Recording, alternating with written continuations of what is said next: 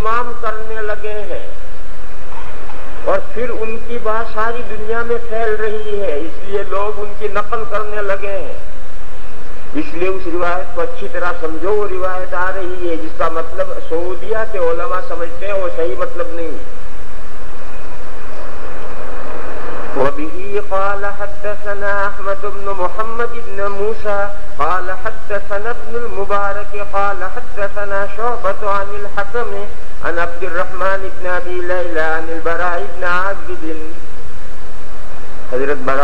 फरमाते हैं कि नबी अकरम सल्लल्लाहु अलैहि वसल्लम की नमाज थी जब हुजूर रुकू करते थे और जब हुजूर अपने रुकू से और जब हुजूर रुकू से अपना सर उठाते थे यानी कौमा और जब हुजूर सजदा करते थे और जब हुजूर सजदों से सर उठाते थे, यानी जलसा, करीबन मिन सवाई, तकरीबन यकसा इन लफ्जों के तर्जमे पर सारा मदार है, करीबन के माने तकरीबन, अलसवा माने यकसा। सऊदिया वाले बड़े तर्जमा करते हैं, तकरीबन बराबर। सऊदिया के ओलमा इसका तर्जमा करते हैं, तकरीबन बराबर। हालाँकि इसका तर्जमा है, तकरीबन यकसा। देखो, जरा सी बात में कितना फ़र्क पड़ जाता है। क्योंकि सऊदिया के ओलमा ने इस हदीस शरीफ का मतलब ये समझ लिया है कि तकरीबन बराबर चुनाचे जितनी देर वो रुकू में रहते हैं, इतना ही कौमे में खड़ा रहते हैं, बल्कि उससे कुछ जायद खड़े रहते हैं। जितना रुकू में रहते हैं, इससे कौमे में कुछ जायद खड़े रहते हैं, कम नहीं। फिर जितना सईदे में रहते हैं, इतनी देर जलसे में बैठे रहते हैं, उसके बराबर उससे कुछ ज़्यादा बैठते, कम नहीं बैठते।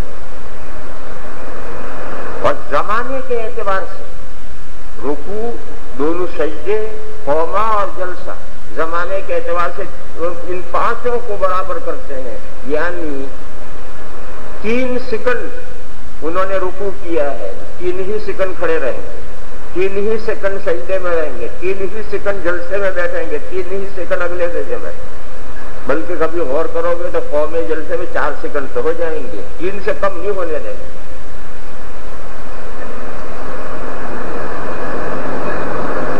इसका नतीजा ये हुआ कि वो वो ओलमा रुकू सजदों में तीन तस्वीरें भी हम ढंग से नहीं पढ़ सकते, इतनी देर रुकू सजदे में रहते बिगड़ गए।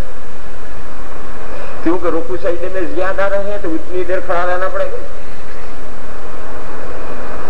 तो रुकू से फजर की नमाज़ में भी फजर की नमाज़ में भी उनका रुकू तीन तस्वीरों से जायद होता ही नहीं। जब रुकू सजदे तीन तस्वीरों के बकदर क्यों होते हैं? क्योंकि कौमा जलसा उन्हें उसके बराबर करना है। तो अगर ये रुकू सजदे लंबे करेंगे तो उतने ही लंबे कौमे जलसे करने पड़ेंगे। तो इसलिए उनके रुकू हल्के हो गए, कोई सोच दिया कि किसी इमाम का रुकू। तीन तस्वीरों से ज़ाहिर होता ही नहीं फजर में भी नहीं होता।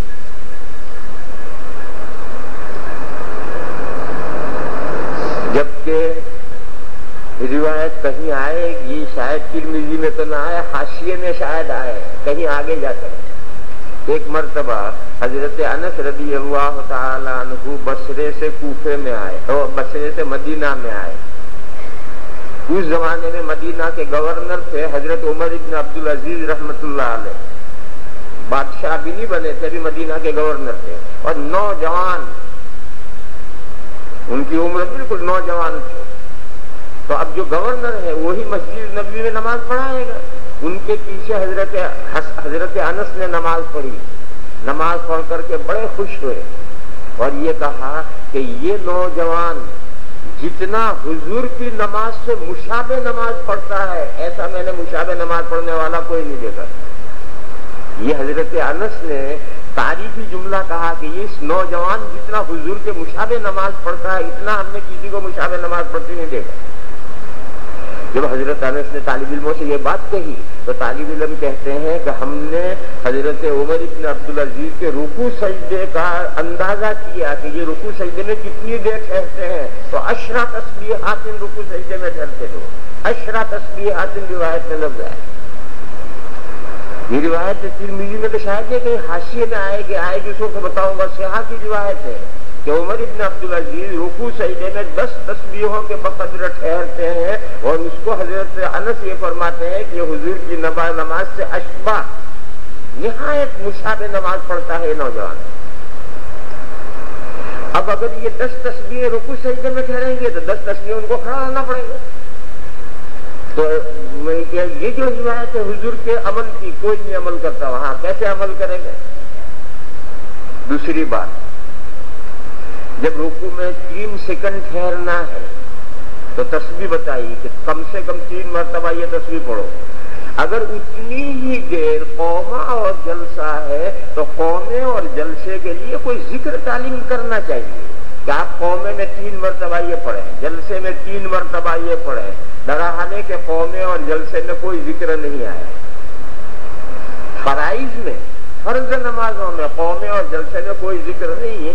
यही ज़िक्र है कि इमाम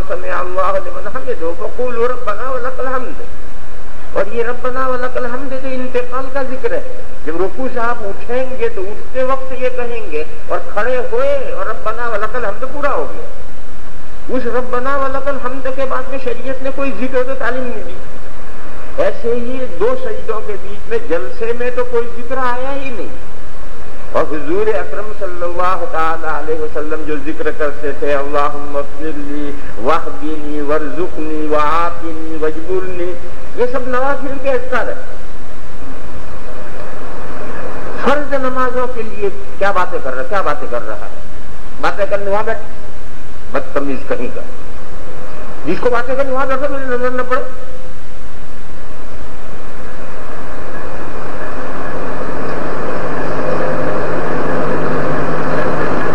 ये दलील है कि अगर कौम जल से इतने लंबे होते रुकू सजदे के बकदरे तो ज़रूर उसके लिए कोई ज़िक्र की तालीम दी जाती।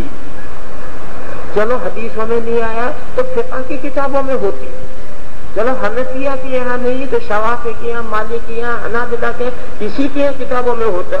इसी चारों फिकों में से, इसी फिका के अंदर बाकायदा इसकी तालीम के कौमे में ये ज़िक्र इतनी मरतबा करना चाहिए जलसे में ये ज़िक्र इतनी मरतबा करना चाहिए, ऐसी कोई तालीम नहीं आई। बस इतना आया कि नवाफिल वाले जो अजकार हैं, उन अजकार को कौमे जलसे में फराई न कर सकते हैं नहीं? दो इमामों ने कहा, कर सकते हैं, दो ने कहा, नहीं, ठीक नहीं। ये तो इख्तिलाफ आया नुकते नज़र का। लेकिन ये कि बाकायदा नमाज़ के तरीके में कौमे जलसे में किसी ज़िक्र की तालीम पकाने की कोई तालीम नहीं बच कोई ज़िक्र नहीं बतलाया। कहाँ से बतलाएँगे जब रिवायत में आया ही नहीं? ये खुद दलील है कि अगर कौमा जलसा इतना लंबे होते तो ज़रूर उनके लिए अजकार मशरू किए जाते। नवाफिल का हाल, हुजूर का तहजद का हाल अलग।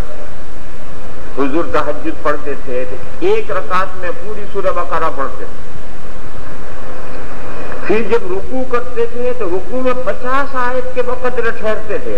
पचास आयतें, पहला पारा आधा हो रहा था, आधा पारा है, इतनी देर रुकू करते थे हुजूर। और खड़े होते थे तो कौमे में पचास आयतों के बकदर खड़े रहते खामोश नहीं खड़े रहते थे, उसका करते रहते फिर सईदा उतना फिर जलसा उतना ये सब नवाफिल के बारे में तो रिवायतें आई है लेकिन फराई के बारे में ऐसी कोई रिवायत नहीं। और उन अम के राम का सऊदिया के जो अम्मा है उन अम के राम का इस हदीस का ये तर्जमा समझना करीबन मिनसमा तकरीबन बराबर जमाने के एतबार से ये तर्जमा सही नहीं है। इसका सही तर्जमा है तक, तकरीबन यकसा। तकरीबन यकसा का मफहूम ये है कि मैार है कयाम। आप कयाम मुख्तसर करेंगे तो रुकू सईदे भी मुख्तसर करेंगे, कौम जल से भी मुख्तसर करेंगे। और कयाम तवील करेंगे तो रुकू सईदे भी उसके एतबार से तवील होंगे, कौम जल से भी उसके एतबार से तवील होंगे। मगरब की नमाज़ में रुकू सईदे और कौम जल से और फजर की नमाज़ में रुकू सईदे और कौम जल से यकसा नहीं होंगे। क्यों मगरिब में छोटी छोटी सूरतें पड़ी गई? और फजर में लंबी मकदार पड़ी गई।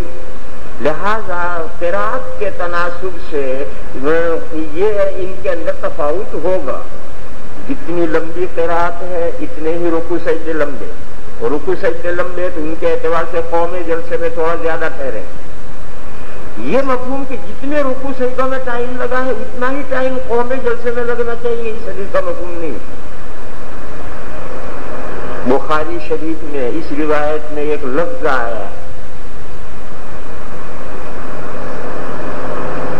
चूँकि आम तौर पर लोग अब बुखारी मुस्लिम ही पढ़ते हैं और गैर मुकलदों ने ऐसा जहन खराब कर दिया है कि बुखारी मुस्लिम से आगे कोई कुछ देखना ही नहीं चाहता।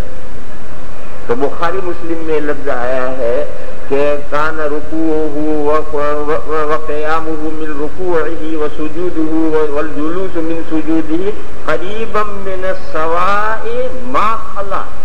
मा खलल क़याम वल क़ूद मा खला के माने मुस्तस्ना है, क़याम और कायदा। यानी क़याम और कायदा, ये इनके बराबर नहीं होंगे। क़याम लंबा होगा, कायदा भी लंबा होगा। ये जो चार अरकान है, रुकू, सईदा, कौमा, जलसा, ये जमाने के एतबार से यकसा होंगे। मा खलल क़याम वल कूद ये बुखारी में लफ्ज आया। हाफिज इब्न हजर रहमान फतहुल बारी में इस इजाफे पर बहस की और लंबी बहस की है। उस बहस को देखो। उस बहस का हासिल ये है कि ये किसी रावी ने इजाफा कर दिया है। हदीस में ये जुमला नहीं। अब वह सारा मदार ये है कि अगर बुखारी का वो जुमला, मा खलल क़याम वल कूद अगर सही है तो सऊदिया वालों का तर्जमा सही। है तकरीबन बराबर जमाने के एतबार से। और अगर ये इजाफा सही नहीं है, जैसा कि हाफिज हजर ने फतुल बारी में बहस की है कि ये इजाफा सही नहीं है किसी रावी का बढ़ाया हुआ है। तो अगर वो इजाफा सही नहीं है तो फिर इसका तर्जमा है तकरीबन यकसा, यानी इनमें यकसानियत होती थी। और ये यकसानियत होती थी कयाम की बनस्बत। कयाम मुख्तसर है या लंबा है, उसके एतबार से यकसानियत होती है। सारी दुनिया में इन सऊदिया वालों ने तो अभी अभी ये अमल शुरू किया है।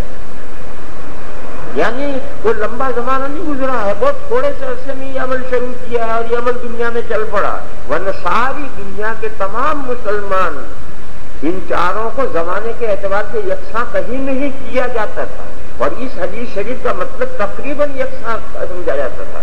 चुनान के फजर में लंबा रुकू करते हैं, पाँच, सात दस तस्वीर के वक्त लंबा रुकू करते हैं, सईदा लंबा करते हैं। जो खड़े खड़े थक गया है, अब खूब अल्लाह का ज़िक्र करो। तो रुकू सईदे लंबे होते हैं तो उसके एतबार से कौमी जलसे भी थोड़े लंबे होते हैं। इनमें एक यकसानियत और एक मुसावत और यकसानियत और बराबरी जमाने में है, जमाने के एतबार से बराबरी नहीं तनासुब के माना में। बहरहाल इस जुमले के करीब में सवा के तर्जमा करने में इख्तलाफ हुआ है और इस इख्तलाफ की बुनियाद इस पर है कि ये माँ खलल कयाम वल कूद ये सही इजाफा या नहीं? जिनके है कि बुखारी बुखारी में हर चीज़ जो है वो बावन तोला पाव रखती तो जब वो बुखारी पड़ेगा और ये इजाफा पड़ेगा तो करीबम में सवा का तर्जमा यही करेगा कि जमाने के एतबार से बराबर। यूँ ये बात उन्होंने शुरू कर दी है। जब हालाँकि वो इजाफा सही नहीं देखो इमाम तिरमिजी उस इजाफे को नहीं लाए। ये वही रिवायत है उसी सनत से है मगर उस इजाफे को इमाम तिरमिजी नहीं लाए।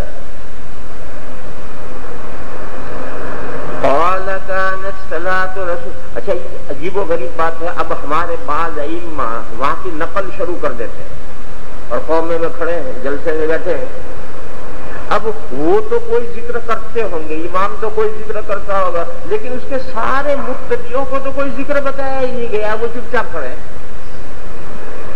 अरे भाई, तुम्हें इतना कौमे जल से लंबे करने हैं तो पहले अपने मुक्तियों को अस्कार बताओ।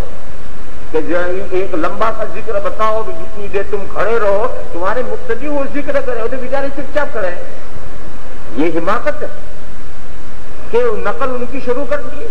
खुद ज़िक्र करता है या नहीं करता है, मालूम नहीं हुसने जने के करता होगा लेकिन उसने अपने मुक्तदियों को तो कोई ज़िक्र बताया नहीं। और ज़िक्र बताए बगैर चुपचाप खड़े रखना चुपचाप बैठा बिठाए रखना, इसके क्या माना है? बस असल तादिल क्या है? तादिल एक बिल्कुल सीधे खड़े हो गए, सीधे खड़े हो गए, जिसम ढीला छोड़ दीजिए। हर जिस हड्डी हर जोड़ अपनी जगह में सेट हो जाए तादिल हो गए। उस तादिल में रुके रहना, ये रुके रहना तादिल में दाखिल नहीं।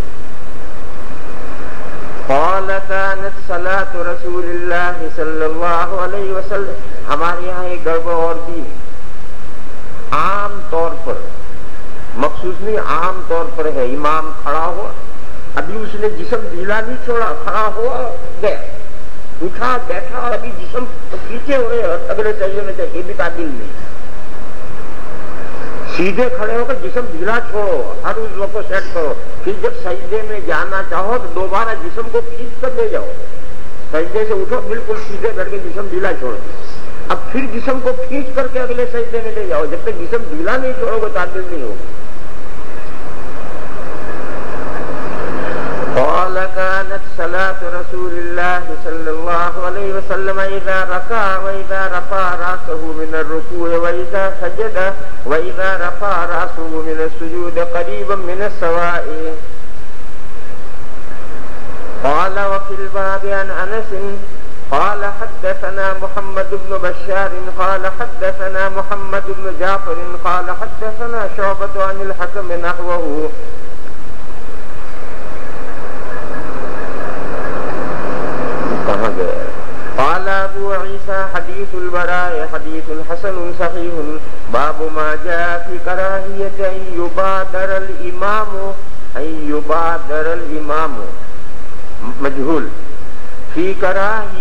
છે કે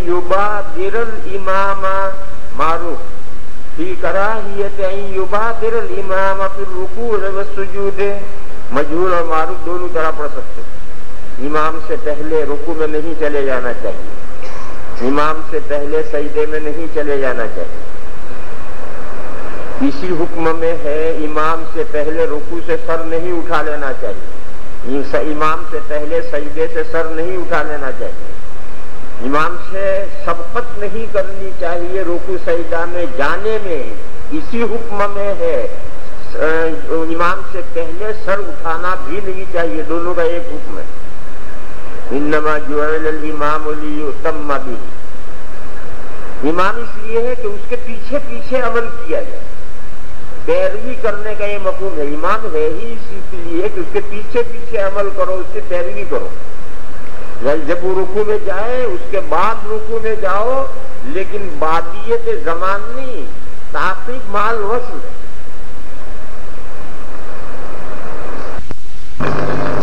और ये हदीस शरीफ मैंने पहले बयान की थी।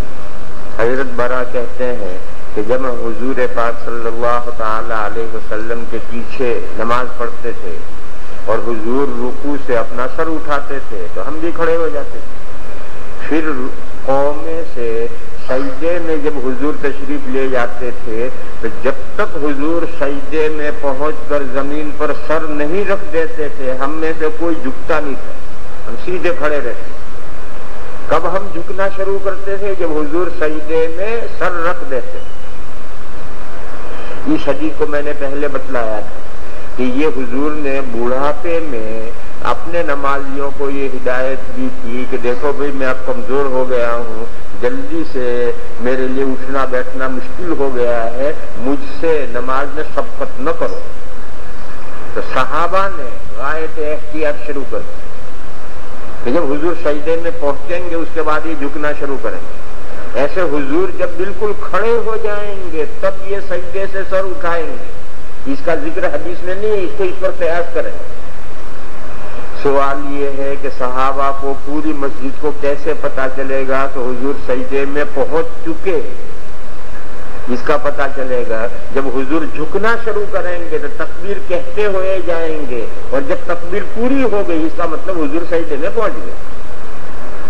तो तकबीर सुनते थे। जब हुजूर की तकबीर पूरी हो गई, इसका मतलब हुजूर ने सजदे में सर रख दिया रख दिया था, वो झुकना शुरू करते। कयाम में उसका बरक्स है। जब हुजूर सजदे से सर उठाएँगे तो सर उठाते ही तकबीर शुरू करेंगे। और तकबीर कहते कहते खड़े जब हो जाएँगे, तकबीर पूरी हो गई। तकबीर पूरी होगी अब सहाबा सर उठाए। रुकू में जाने के लिए, रुकू से उठने के लिए इसका एहतमाम नहीं करते। पहले सजदे से उठकर बैठने के लिए और दूसरे सजदे में जाने के लिए इसमें सहाबा इसका एहतमाम नहीं करते। क्योंकि बूढ़ा आदमी भी खड़े से रुकू में गए रुकू से खड़ा हो, इसमें देर नहीं लगती। पहले सजदे से उठकर बैठ गया, बैठ कर दूसरे सजदे में चला गया, इसमें देर नहीं होती। है बूढ़े को परेशानी कहा होती? खड़े से सजदे में जाना है। और सजदे से खड़ा होना, यहाँ बूढ़े को देर लगती है। तो इसलिए साहबा इन दो बातों में एहतमाम करते थे। ये सहाबा का एहतमाम करना खुद दलील है कि तकबीर मुक्तदी को इमाम के साथ साथ अमल करना है। ये तो हुजूर की हिदायत के बाद ऐसा करने लगे। और ये हिदायत तो बुढ़ापे के उज्र की वजह से। वरना अगर ये बुढ़ापे का उज्र नहीं है तो मुक्तियों को इमाम के साथ साथ ताकिब माल वसल करनी। ये वो मसला है जो सऊदिया वालों ने इसको बिगाड़ दिया है। उसको मैंने तफसील से पहले बताया।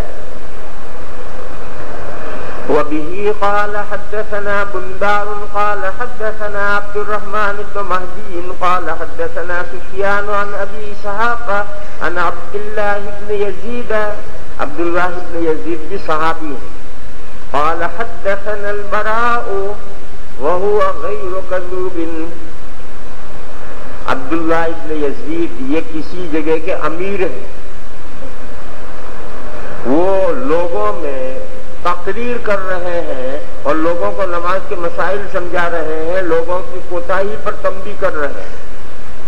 तो उन्होंने उस तकरीर में ये हदीस बयान की कि हदल बरा वह गैर कजूबिन। हज़रत बरा जूते नहीं। ये वह हुआ गैर कजूबिन क्यों आया इसका मतलब ये हुआ कि सहाबा में से कुछ सहाबा कजूब भी है। ये कजूब नहीं है। इसका मतलब कि सहाबा में दूसरे सहाबा का ग्रुप भी है। ये वही मफहूम मुखालिफ निकाला आपने, जो मफहूम मुखालिफ मोतबर नहीं। इस जुमले का ये मफहूम नहीं है कि बाद सहाबा का ग्रुप भी है, ये मफहूम नहीं जुमले का। फिर ये जुमला क्यों इस्तेमाल किया गया है? ये जुमला इस्तेमाल करता है मुकर्र जब तकरीर पर, तकरीर करता है तो अपनी तकरीर में ज़ोर पैदा करने के लिए। मुख्तलिफ़ तरीके इख्तियार करता है। कभी तो टेबल पर मुक्के मारेगा ये मुक्के क्यों मार रहा है? अपनी तकरीर में ज़ोर पैदा कर रहा है। कभी हाथ फेंकेगा ये हाथ क्यों फेंक रहा है? अपनी तकरीर में ज़ोर पैदा कर रहा है। कभी कसम खाएगा खाम का कसम खाएगा अरे भाई, कसम खाने को तुझसे किसने कहा? तकरीर में ज़ोर पैदा कर रहा है। इसी तरीके से हज़रत अब्दुल्ला इब्न यजीद जो ये हदीस सुना रहे हैं तो ज़ोर पैदा करने के लिए जुमला बनाया ऐसे खुद हुजूर के बारे में भी सहाबा बाज मरतबा ये फरमाते थे कि आला रसूल वसल्लम वह सादिकुल मसदूक। हो अब कोई एहतमाल इससे निकले तो हुजूर तो सादिक को मसदूक है, दूसरे पैगंबर सादिक को मसदूक नहीं है, तोबा तोबा। फिर सहाबा ने हुआ सादिकुल मस्जू को क्यों बढ़ाया वो मौके के एतबार से बात में जोर पैदा करने के लिए इस तरह से कहा किया जाता है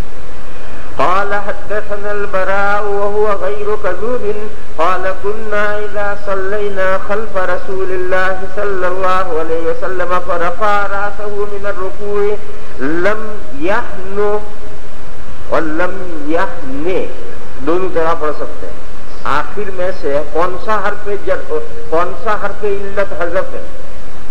वाव अगर हजफ है तो लम याह नो और या अगर हजफ है तो लम याह ने और फैल दोनों तरह से आता है, हना याहनु और हना याहनी दोनों तरह आता है।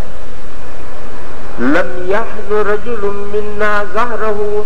नहीं टेढ़ा करता था हम में से कोई आदमी अपनी पीठ को।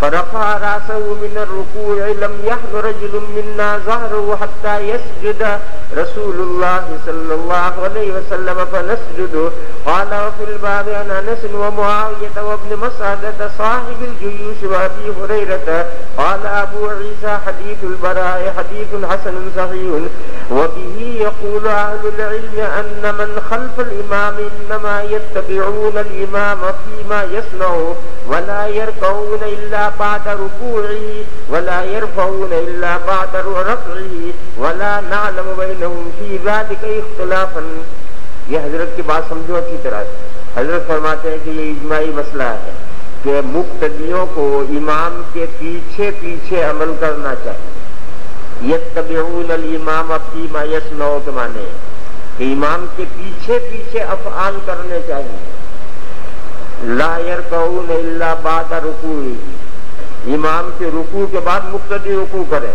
इमाम के सर उठाने के बाद मुक्तदी सर उठाए। यानी सर उठाना शुरू करे इमाम पहले। सर झुकाना शुरू करे इमाम पहले। उससे पहले कोई न चला जाए। ये मकूम है इसका। कि इमाम से पहले अभी इमाम तो खड़ा है, और एक आदमी रुकू में चला गया। अभी इमाम से पहले क्यों चला गया? इमाम जब रुकू में जाए तो उसके पीछे पीछे जाओ। इमाम से पहले कोई सही से सर न उठाए। इमाम सर उठाए तो उसके बाद से उठाओ अब उसके बाद का ये मतलब है कि जब उसका वो रुकन पूरा हो जाए तभी रुकने शुरू करे। ये मतलब जो सऊदिया वालों ने समझ लिया है, यानी ताकीब महज ताकीब महज के लिए कोई लफ्ज नहीं है, ताकीब माल वसल है। और इन जुमलों का मतलब ये है कि तकदीम न कर। बादा रुकुई बादा सुजूदी के माने कबला रुकुई कबला सुजूदी न जाए। तमाम उम्मत मुतफिक है कि इमाम मुक्तदियों को इमाम की पैरवी करनी है। इमाम से पहले हर काम में नहीं जाना। बाब माजा की कराहियत सजदतैन। जब पहले सजदे से उठकर आदमी बैठेगा। तो चूँकि थोड़ी देर बैठना है तो किस तरह बैठे? बैठने का वही तरीका है जो कायदे में बैठने का तरीका है। आखिरी कायदे में इफ्ते तवरुक का मसला जो आएगा, वो झगड़ा आगे आ रहा है। यहाँ तो ये तमाम इम्मा मुतफिक है कि जलसे में बैठेगा तो इफ्तराश करेगा। बाया पाँव बिछा कर उस पर बैठेगा और फिर अगले सजदे में चला जाएगा। इसमें कोई इख्तलाफ नहीं।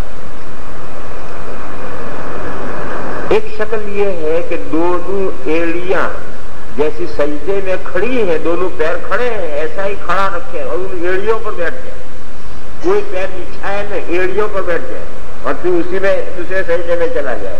इसका नाम है इफ़ा ये इफ़ा ये नामुनासिक है।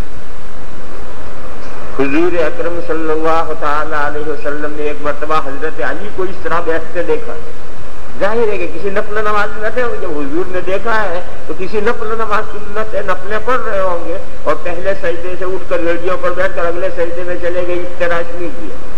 तो हुजूर ने उनको समझाया, और तमहीद कायम की। वहिब्बुलका माँ वहिब्बुल नफ्सी जो मैं अपने लिए पसंद करता हूँ, वही तुम्हारे लिए पसंद करता हूँ। लातुक बेन सजदते दो सजदों के बीच में जो तुम ये कहा बैठते हो, ऐसा मत बैठो। लिहाजा ये खिलाफ औला मकरू तंजी हज़रत अब्दुल्ला इब्न मसूद रदी अल्लाह तु का जो कौल आ रहा है कि ये गंवारपन है। इस तरह से बैठना, ये कहा करना और एड़ियों पर बैठकर दूसरे सजदे में चले जाना, ये गंवारपन है। ये गंवा, मिनल जफा मिनल जफा माने गंवारपन है। इसका भी हासिल ये है कि ये खिलाफ अवला है, अच्छी है इतनी और लेकिन है जायज़, नाजायज नहीं। हज़रत इब्न अब्बास रबी अल्लाह तुमा का कौल आ रहा कि मिनत सुन्ना। इस मिनत सुन्ना का मतलब जायज़ है। इस मिनत सुनना का मतलब जायज़ है। ये मतलब नहीं कि हुजूर इस तरह बैठते मिनत सुनना का मतलब है जायज़ है और हज़रत इमाम शाफी रहमान ने हमें ये कायदा समझाया कि सहाबा के अकवाल का जायजा लेने से ये बात हमारी समझ में आई है कि कभी कभी सहाबा अपने मुश्तहदात के लिए भी मिनत सुन्नत लफ्ज इस्तेमाल करते हैं।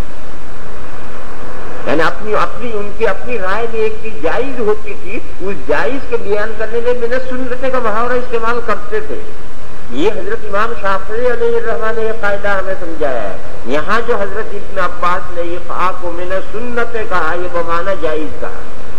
तो जायज़ है, नाजायज नहीं। लेकिन ये खिलाफ औला है, हदीस शरीफ की वजह से और हज़रत इब्न मसूद के कौल की वजह से।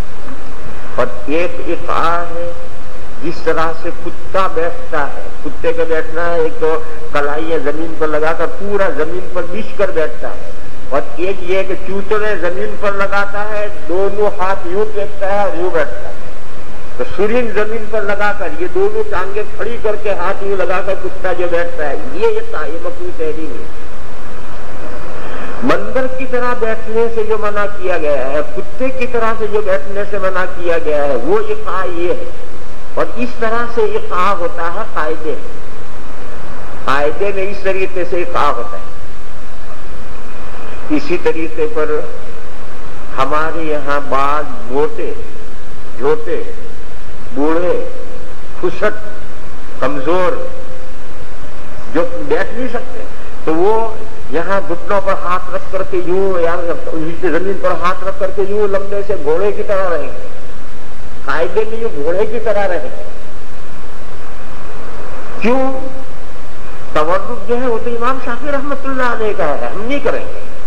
फिर जिद। अरे तवर्रु इन्हीं माजूरों के लिए तवर्रुक है? माजूरों ही के लिए हुजूर ने अपनी ज़िंदगी के आखिर में अपने उजर की वजह से तवर्रुक किया था। मगर कोई हल्की तवर्रुक नहीं करे घोड़ा बनेगा? गधा बनेगा? मगर तवर्रुक नहीं करे अरे ये तवर्रुक की सुनत ऐसे ही वक्तों के लिए अगर तुम्हारी पिंडलियाँ तुम्हारी रामें तुम्हारा वज़न बर्दाश्त नहीं करती। तो दोनों पैर निकालो एक तरफ़ और नीचे मक्कत पर बैठो। ये तवर्रुक ऐसे ही वक्त में सुन्नत लेकिन मसाइल में जब बहसा बहसी होती है तो जहनों में जिद पैदा हो जाती है कि तवर्रुक तो यह तो शवा है। हम चाहे उल्टा सीधा कुछ भी करें, घोड़ा बने, गधा बने, मगर तवर्रुक नहीं करें। ये ठीक नहीं है। जो जो अहवाल है, वो मुख्तलिफ़ अहवाल के लिए है। उन अहवाल में उनसे, उन सुन्नतों से फ़ायदा उठाना। लिहाजा, ये जो तवर्रुक कुत्ते की तरह, बंदर की तरह बैठने की जो ममानत आई है, वो कायदे में इस तरह से बैठने की ममानत आई है। और ये जो हद बाप में जेरे बहस है, ये दो सईदों के बीच में पैर खड़े रखकर उनकी एड़ियों पर बैठने की है। ये जायज़ है, मगर खिलाफ है